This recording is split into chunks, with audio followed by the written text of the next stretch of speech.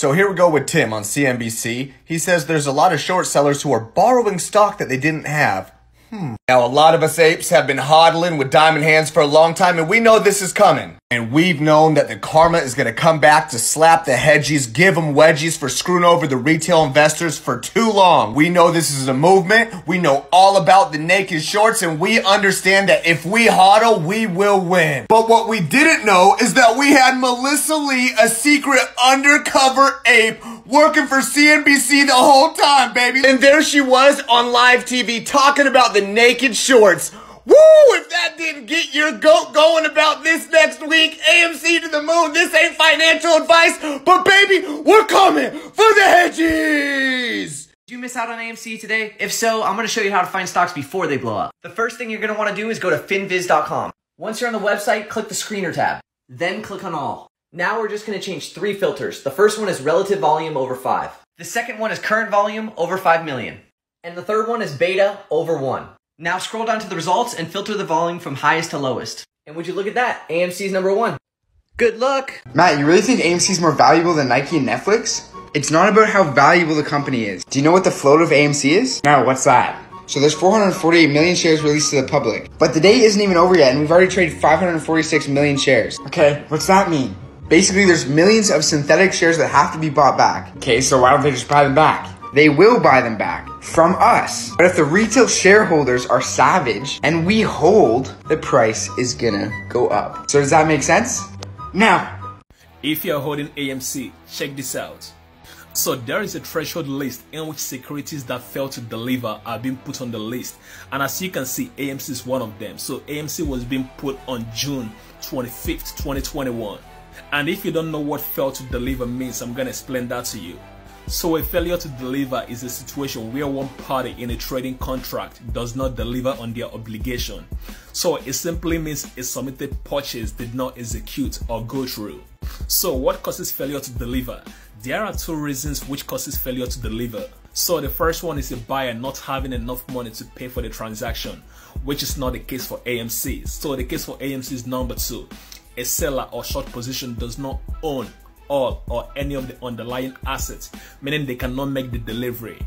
And because of this, clearing houses cannot process the orders due to shorts or hedge funds not having possession of those assets. Like I said in one of my AMC videos, I told you guys that there's been naked shorting going down for AMC. And these short sellers and hedge funds, they create synthetic shares and they use it to drive the price of AMC down. And as you can see from the list, AMC has been on failure to deliver for about 6 days now, starting from June 25th. And I'm gonna tell you guys what's gonna happen when they fail to deliver. So according to SEC, if you fail to deliver for a period of 13 days, you'll be forced to cover. And right now, AMC has failed to deliver for about 6 days. So if you're still holding AMC, let me know in the comment section. And also make sure you follow me for more updates on AMC and join my free Discord on my bio. Peace. Yo, Stock Talk, got an opportunity for you. So, as you know, I'm a long term investor, but I sort of broke the trend on this one because it's too juicy to pass up. This opportunity is AMC. As you can see, I bought a very small position into AMC. Cost basis is right around $45. So like always, this is not financial advice, but I'm just gonna break down my thought process and how I came to the conclusion to invest a little bit of money into AMC. Now I use Ortex database to figure out the short interest trends. As we know, AMC definitely started to squeeze, but in my opinion, we're not done yet. Now looking at the trends on Ortex, found out that the short interest actually dipped about 5 6%. This means that some of the shorts cover their positions. And whenever this happens, you have to ask yourself, why would they cover? And I think I found the answer. AMC is making a bull flag. It broke down below the flag, now it's breaking above it. Now we're not in the clear yet, and I'm gonna be watching this very closely, but if we break above the $60 mark, which I think we will, AMC could make another historic run. I think the shorts were nervous. If you don't know what a short squeeze is, let me explain it to you. My man dropped a gem in here in my Discord to make it so much easier to understand. But let's say the cost of five bananas is $10.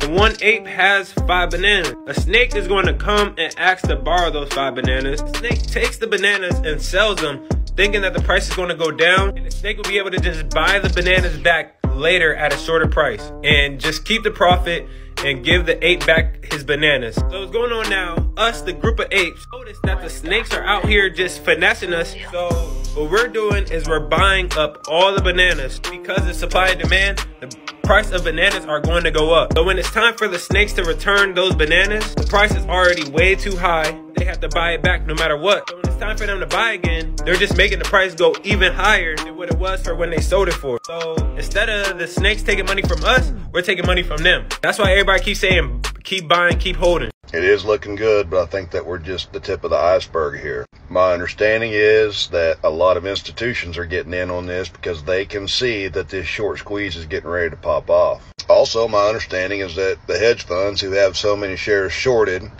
are going to attempt psychological warfare on you and me. They've bought up a lot of shares, and at some point, when it gets to whatever level, they're going to dump them all to make the bottom drop out and give everybody the sense that the short squeeze is over and try to get a bunch of people out, get the price to drop.